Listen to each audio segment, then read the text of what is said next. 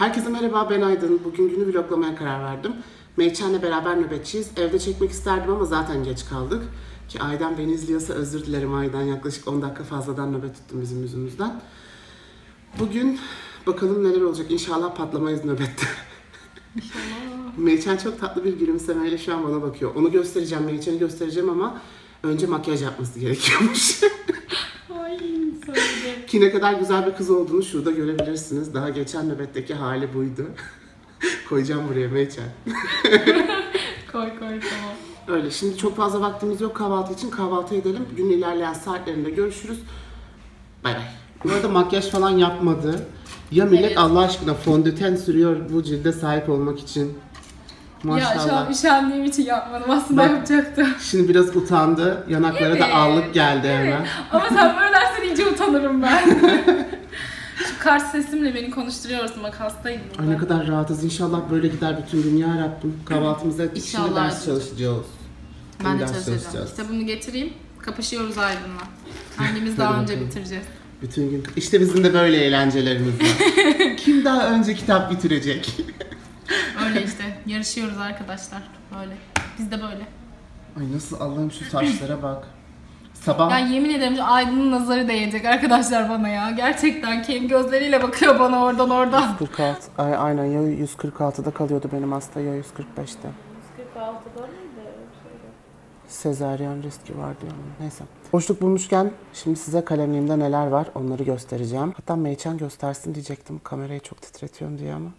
Göstereyim mi? O da telefonla oynuyor. Maşallah çok yoğunuz. Ölüyoruz yoğunluktan bugün. Oyun oynuyorum ya. Nöbet çok zor geçiyor. Şimdi Meyçen kalemliğimde neler var onları gösterecek.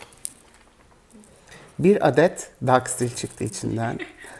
Ben göstereyim sen konuş. Şu en enteresanı. Pirit çıktı. Ne var ya Allah Allah ben o piriti kullanıyorum tamam mı? Nerede kullanıyorum Allah seni? Lazım oluyor. Ay şirinliği. Bunu da BİM'den almıştım. Disney ürünleri gelmişti o zaman almıştım. Var, onları da aynı anda çıkarayım.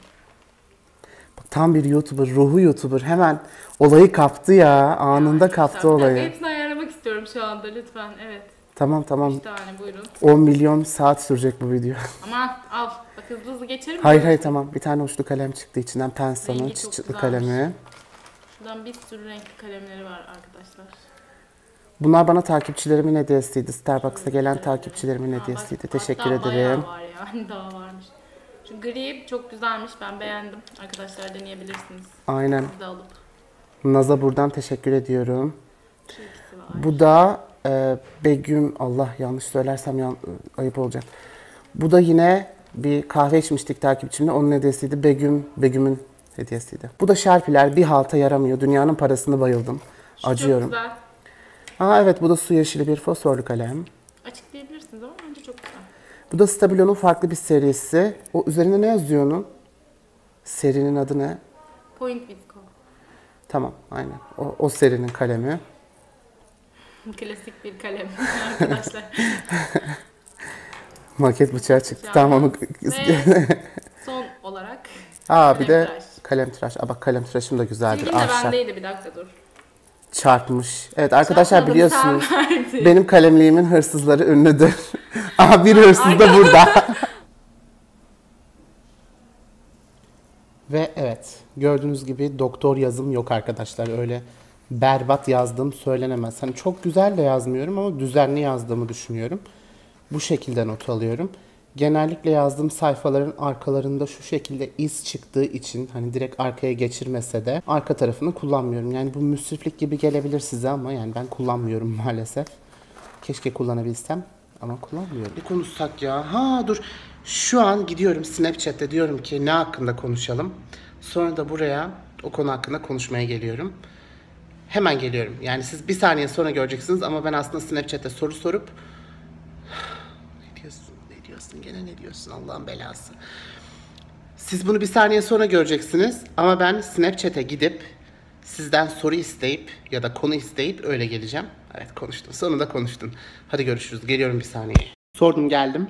En sık sorulan birkaç soruyla başlıyorum. Öncelikle ders çalışıyorum. Ders çalışıyorum. Öncelikle nasıl ders çalışıyorum? Genellikle not alarak ders çalışıyorum. Bu aldığım notları uyumadan önce ve uyandıktan hemen sonra okuyarak pekiştirmeye çalışıyorum. Nasıl aldım? Not aldığımda zaten az önce gördünüz. Yine buraya koyarım mesela.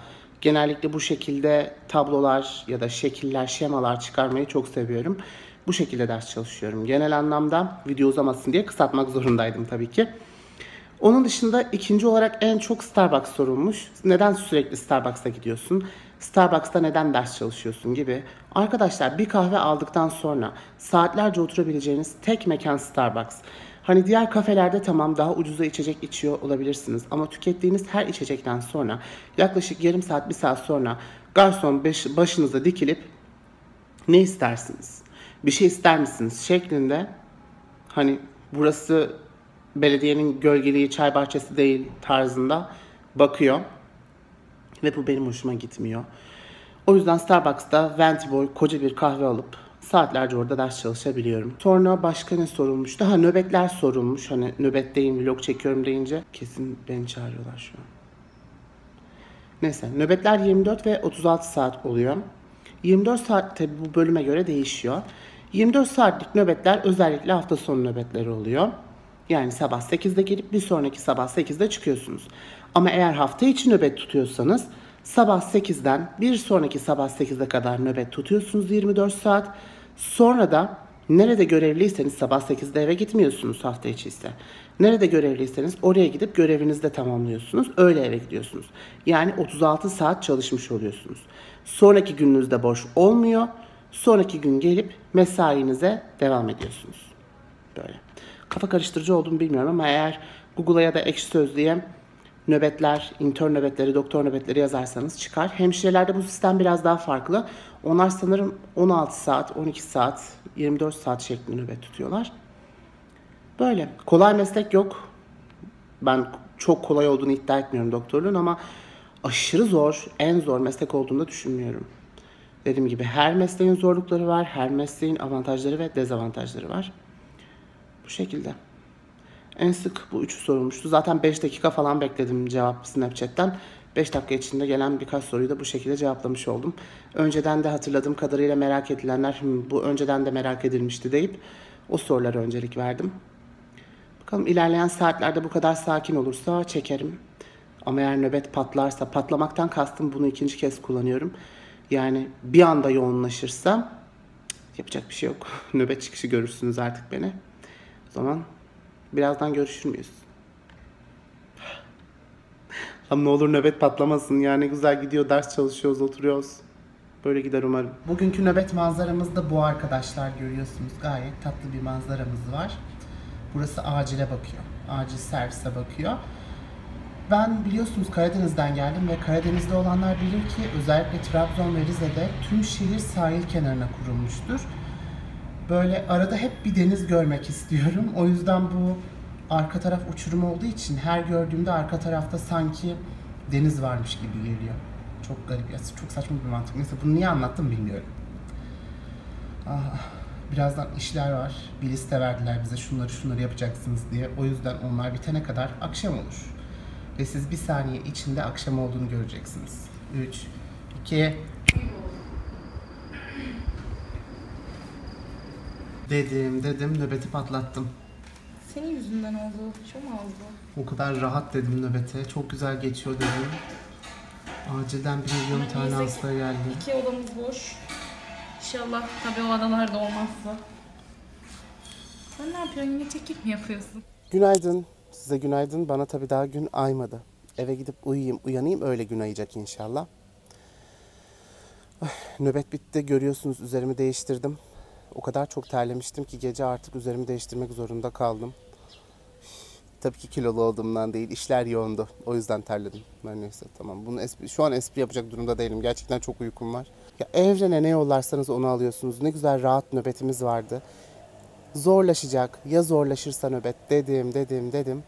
Yani motor üzerinden düşen gebe bile geldi yani servise. Garip bir nöbetti. Ama olsun. Güzel geçti. Meyçen de zaten bana şey deyip durdu. Çoma ağızlı. Sürekli zorlaşacak zorlaşacak dedin. Al sana bak ne oldu diye.